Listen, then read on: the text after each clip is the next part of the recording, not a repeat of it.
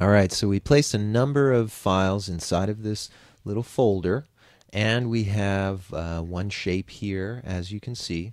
Well, there's a couple of things that we can do to continue making this look a little bit better. For example, I'm going to just click on a different color and I will click on a different shape. So I'll just make a, another one by clicking here and you'll notice I'll make another triangle, uh, excuse me, rectangle a little bit like this. And perhaps I'll take yet another color here, maybe just a gray of some kind. And I can create a third object and allow that to be the gray color that I wanted. Now again, don't get confused with anything I did with these layers because we'll be talking about these vector shapes a little bit later. So notice I have these three shapes that are, you know, can be moved around and they're separate items. However, Perhaps what we can do to make these more manageable is to put them inside of their own folder. This little group area here. So I'm going to expand this just by clicking down here. I'm going to double click on this group and I'm going to call it, um, well, let's say uh, squares. Well, they're not really all squares. So uh, let's just say boxes. And I'll drag these particular files inside there. We really should rename these if I was working a little bit easier and rather a little bit more organized. I'd be renaming these elements. So now that the, all these elements are named, you'll notice if I expand or collapse any one of these, we can move them continuously in this fashion. If I wanted to, since I have two groups, I can move one group and the other group independently of each other because we can set the auto select to group or to layer. So that's a little bit about how things will work. But let me show you a little something else. What we can also do is to organize these layers by color coding. So for example, if I wanted to, I could select the posters group and double click it. Now you could do this just by selecting a particular layer and double clicking it as well. And you'll see here it says layer style, right? And if I wanted to, just double clicking that, it says layer style continuously.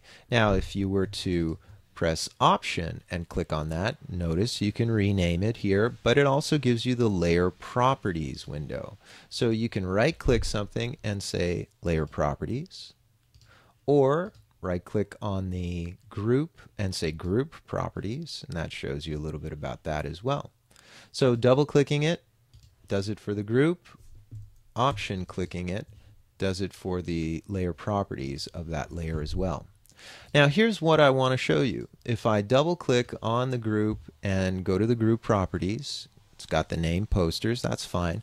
We can also color code these layers. For example, I could say, hey, look, make everything inside here be um, perhaps blue.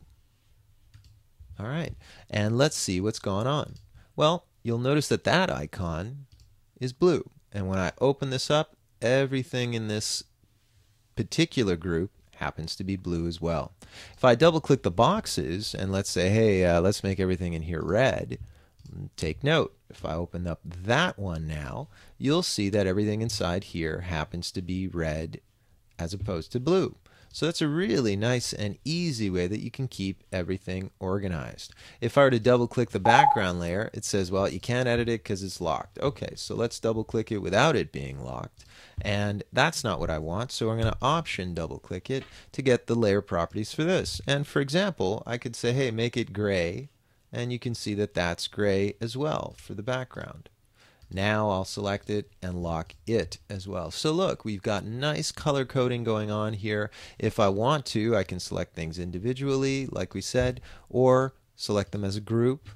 And to move things around, very easy to do. Look, I'll put everything inside of this group underneath the poster layer just by dragging it underneath it like that. So all the posters are on top of the boxes now.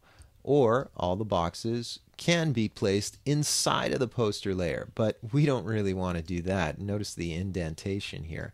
Um, so to take something out of it, just drag it and you'll see until you get to the point where it's a line outside of that box and then you'll see that's where it worked. So if you go right on top of the box it's going to, or the group, excuse me, it's going to go inside that group. You don't want that.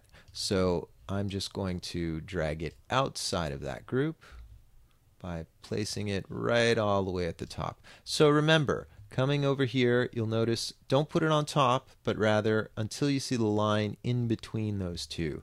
And that will allow you to move and reshuffle around the stacking order of these elements, as well as I've shown you how to color those elements with the color coding of the particular layer or group item.